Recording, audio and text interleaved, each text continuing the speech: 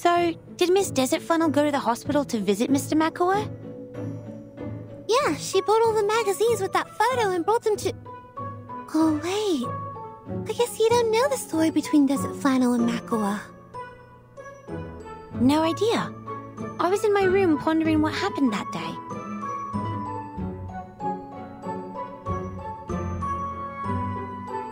don't look at me like that. I've told you I'll never repeat that story again. Okay. I guess it doesn't matter if I never had the chance of hearing it. It's just a story.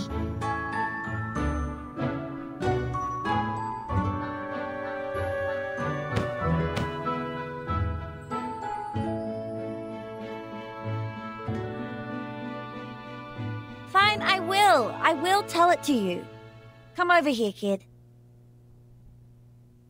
You are so kind.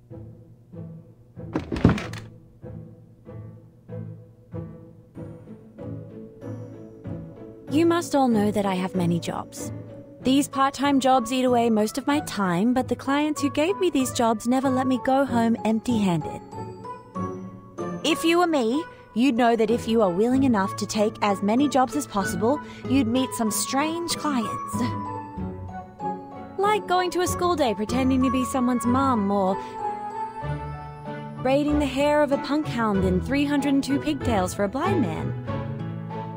Or waiting for a rare bird at midnight, carrying a camera which was expensive enough to pay for my apartment.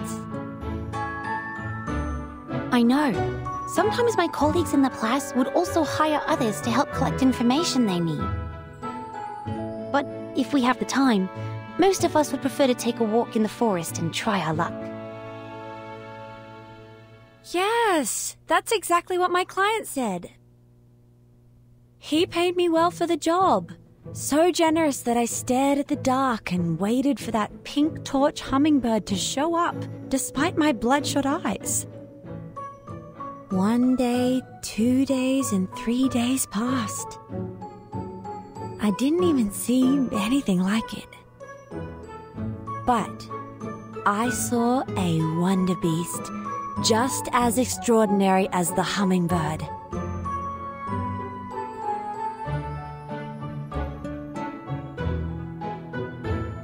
A pink glittering platypus.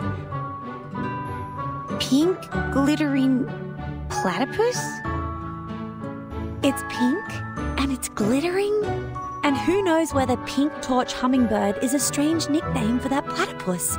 Of course, I have to take a picture of it. But you know, a bird lover won't need a picture of a platypus. So I sold it to Kidding Fun, a children's magazine. What happened next should be very evident to you if you read enough bad novels. Is. is that. Yes, that's right. That platypus was Makua who took the transformation potion. Ah. But why would he do that? Mm, perhaps he was looking for some fun, or maybe it was an accident? Anyway, according to him, someone pulled out a prank on him, and it was definitely not his own choosing. he quit his job the moment that picture was published. He left his friends and family and became a revenger, striving to put me into a miserable situation just like what he has gone through. So, this time, after I made this fortune, I bought the apartment and every copy of that issue of the magazine. Mm, were you planning to sell them all to Mr. Makua? No, of course not. Who do you think I am? I picked him up at the hospital, took him somewhere quiet, and burnt all the magazines in front of him. He was, oh my gosh, crying so loud. that was pleasant to hear.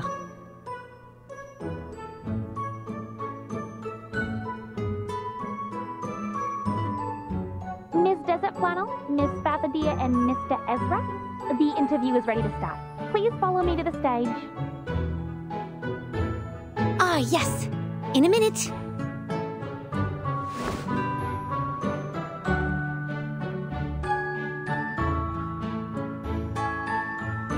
Did you get the ending of the story? No, not really. so there is something neither Arcanist nor humans can understand. Perhaps we can ask Verton later. She's a bit older than us, but she's not here today. I think she went to the stadium with Miss Ulu.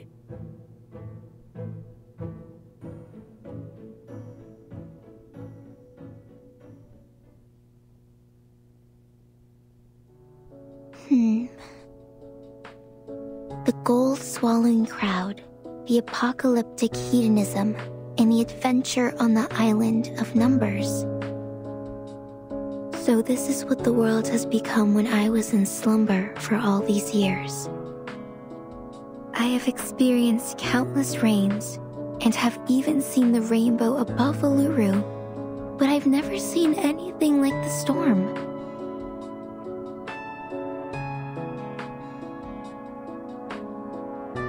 I can't believe it just changed everything so easily.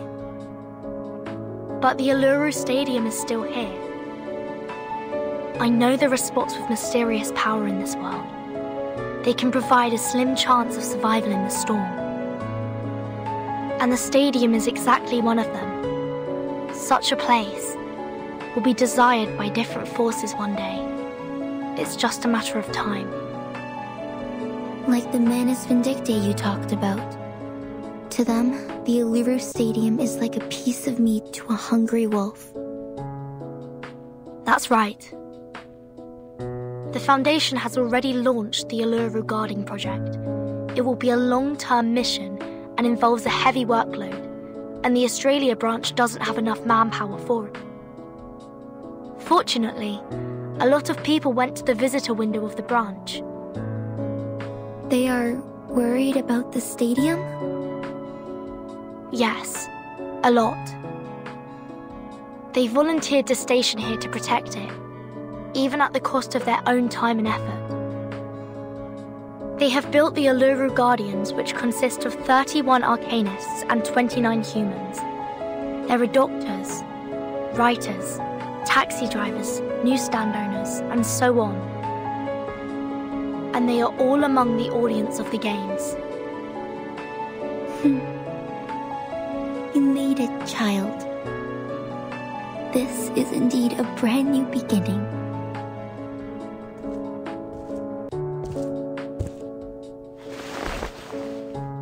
That's why I want to keep it here.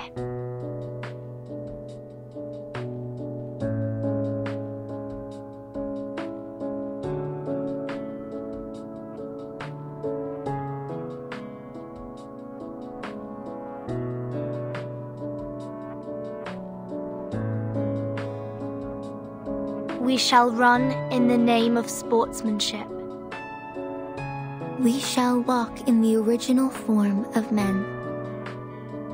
We shall compete against each other, not for victory, but for participation. By both human and arcanist.